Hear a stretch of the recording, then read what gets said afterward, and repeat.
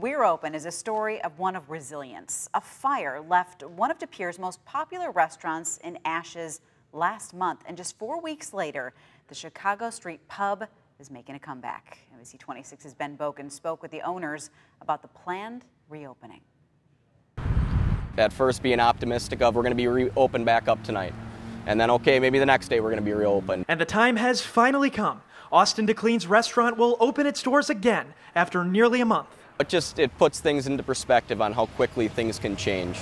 After a devastating fire destroyed the Chicago Street Pub here in De Pere last month, the restaurant is set to reopen at a temporary location. Starting next Tuesday, the pub will serve customers five minutes away using the Swan Clubs building, which is also owned by the DeClean family. It's an opportunity that we can get some employees back to work.